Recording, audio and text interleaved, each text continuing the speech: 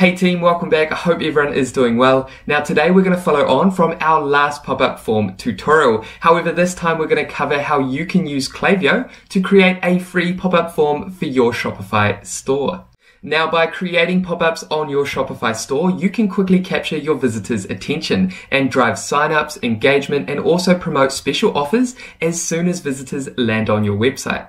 Okay, now before we launch into today's tutorial, consider subscribing if you haven't done so already, and that way you'll stay updated with actionable videos and tutorials designed to equip you with the skills, knowledge, and tools to grow your small business online. And without wasting any more time, let's go ahead and create a free pop-up form for your Shopify store with Klaviyo.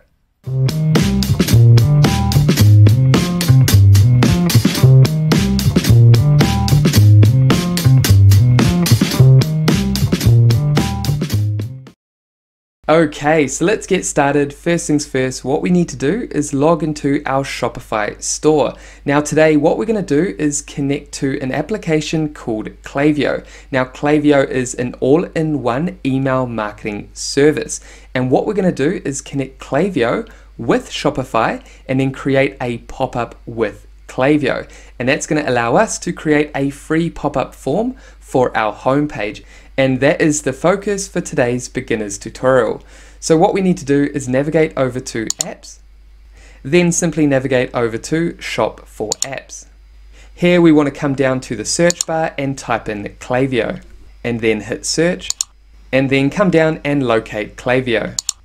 Simply click add app and then scroll down and click install app. Here we need to go ahead and create an account. Simply add your email, create a password, and then click Continue with Integration. Then simply add your brand information. A lot of this information will be automatically generated based on the information you provided to Shopify. Over here, you want to make sure that you add your sender email address. Now, this can be related to your brand. It doesn't need to be a proper email address at the moment. You can change this later. However, this is your email address where your emails will be sent from then come down and click continue.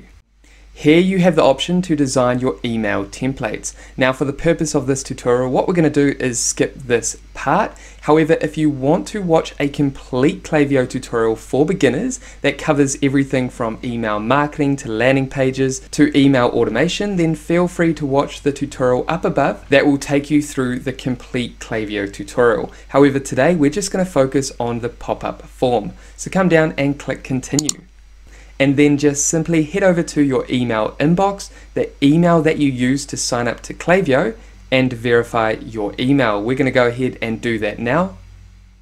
And then once you've confirmed your email, you will arrive on your Klaviyo dashboard.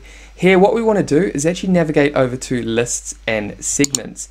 Here, what we want to do is create a list.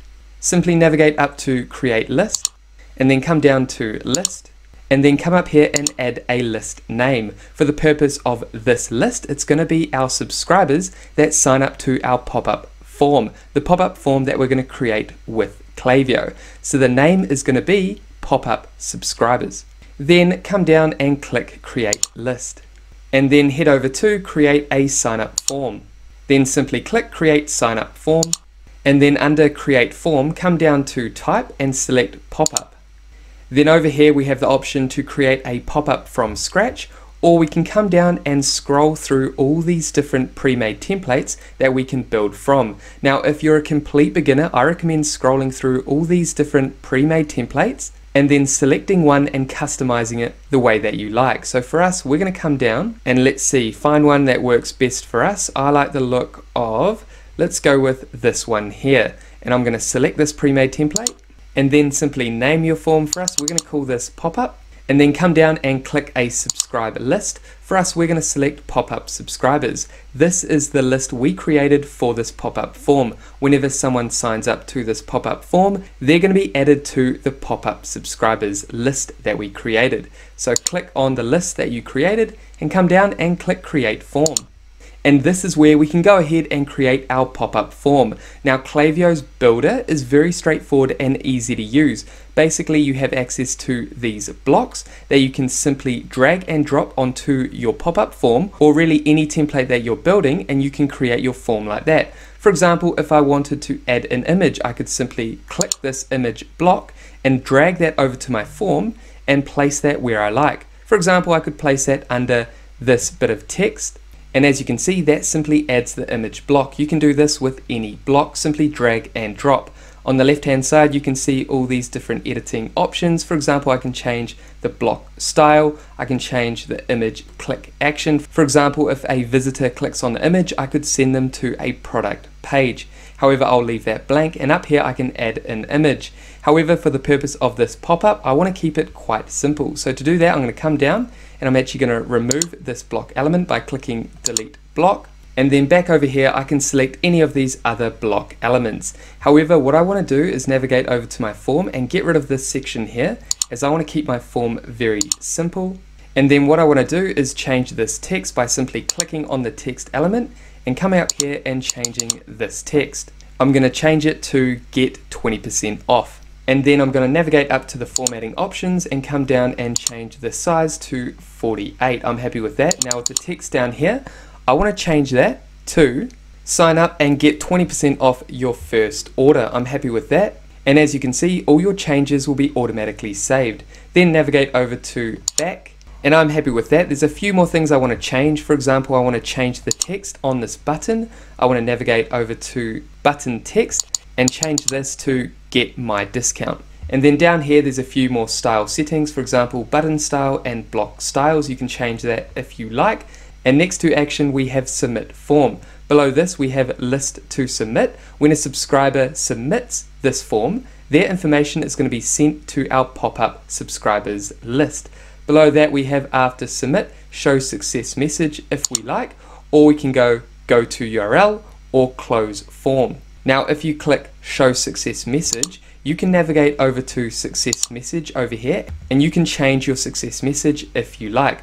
However, what we want to do is actually remove this success message. You can keep it if you like, but for the purpose of this tutorial, we're just going to remove the success message. Navigate back to subscribe form, come back down to the button, and on the left hand side, what I want to do after submit is show success message. No, I want to remove that to close form. And then two more things we want to do is we want to change some of the information on this block and then we want to change the background image. Come down and click your email and then come down and change the label text. For us, we're going to change this to subscribe now. And then below this, we have placeholder text. Currently, it is set on email address. I'm happy with email address. That's quite straightforward. And then simply head back. Now what we want to do is navigate over to styles. Under styles, you can see that we have a background image. What we want to do is replace this background image by selecting replace. Here, what we're going to do is upload an image by selecting Browse Files. And as you can see, I've added the new background here. I like the look of that. That looks awesome. Now what we want to do is navigate over to Behaviors. And then under Display Timing, what we want to do is select Loading Delay. Under Loading Delay, what we want to do is select Show when visitor is exiting the page. So for example, if a visitor lands on our homepage and they start navigating up to the exit on the screen, then this pop-up will appear. I also want to click show 60 seconds after page load. For us, what we want to do is select 5 seconds. So now this pop-up will show 5 seconds after the page has loaded. You can also come down and show this option here, show after scrolling 60% of the page, and you can change that if you like. Display frequency, down here we want to keep this selected. Don't show again after submit form or go to the URL action. However, if a visitor closes this form without submitting the form, then what we want to do is show this after 30 days. And I'm happy with that. Then below this we have devices show on desktop and mobile. You can select desktop or mobile only, but we'll keep that as desktop and mobile. Then below targeting, we want to make sure that don't show to existing Klaviyo profiles is selected. Basically, if a visitor has already signed up, then this pop-up will not appear. And I'm happy with that. We also have options for URL and by location. But I'm happy with my form. What I'm going to do is now navigate up to publish. And congratulations, when you receive a message like this, sign up forms are successfully installed on your site. You've just created and installed your pop-up form and it should work on your website. Come down and click publish. Now the last thing we want to do is navigate back to Klaviyo and then come down to flows and then navigate over to create flow. And then up here, we're going to name this flow welcome pop-up subscribers. Then come down and click create flow. Here, what we want to do is create a trigger for when people are added to this list. So click list over here and then come down and choose the list. This is the list we created, pop-up subscribers. So every time that a subscriber gets added to this list, then this flow will be activated. And what we want to do is send a welcome email with the 20% off code that we created that enticed people to sign up to our pop-up form. I hope that makes sense. Then come down and click done. Then navigate over to email and drag that over here. So basically, every time someone signs up to our pop-up form, they're going to be automatically sent this email, and this email is going to have that promotional code. So come down and we want to edit this automated email by clicking edit, and then come down and edit the subject. Here, what we want to add is, here's your 20% discount code. And then go ahead and add preview text if you like. What we're going to do is click Save Changes, and then come down and click Select Template and then come down here and select a pre-made email template if you like. For us, what we're going to do is select basic and then come down and click one column. And then here we have options to go ahead and use the drag and drop block builder to build out our new welcome email. So this is the email that's going to have our discount code and it's going to be automatically sent to subscribers when they sign up to our pop-up form. So what I'm going to do is quickly just edit this. I'm going to add an image here and then selecting this image I already uploaded earlier. I'm happy with that. Then what I'm going to do is come down here to this text and I'm going to edit the text. Firstly, what I'm going to do is simply highlight all this text and delete it. Then navigate up here and highlight this text. What I want to do is center a line and then type in welcome to Epic Coffee Beans. And then below this, I'm going to add the 20% off promotional code. And then down here, I'm going to change the code color by clicking color and I'm going to select brown. And this is a basic email they will receive with the code when they signed up to the pop-up. Again, you can go ahead and play around with all the different blocks, styles, and elements, but for us, what we're going to do is click Save Content. And then once you're happy with your email details, just simply navigate up to Done. And then come down and click Draft, and then click Live. Then click Exit. And congratulations, just like that, you've created a pop-up form and an email flow. So the email flow basically gets triggered when someone signs up to your subscriber list through the pop-up, they will get sent this email with the discount code in their email inbox. It's very straightforward. I hope that makes sense. Now what we're going to do is go ahead and check out our pop-up form live on our website. Firstly, I'm going to click Save and Exit and then head over to my live website. And congratulations, just like that, you've created your pop-up form. As you can see, we have our pop-up form that has appeared after five seconds of the website being loaded. Now with this pop-up form, what I'm gonna do is go ahead and enter my email and then show you what the welcome email looks like. Remember we created that welcome email flow after someone subscribes to this pop-up form. So what I'm going to do is add my email address and then click get my discount.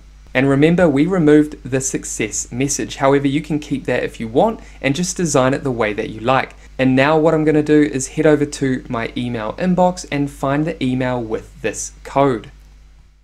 And as you can see, just like that, in my inbox, I've got here's your 20% discount code.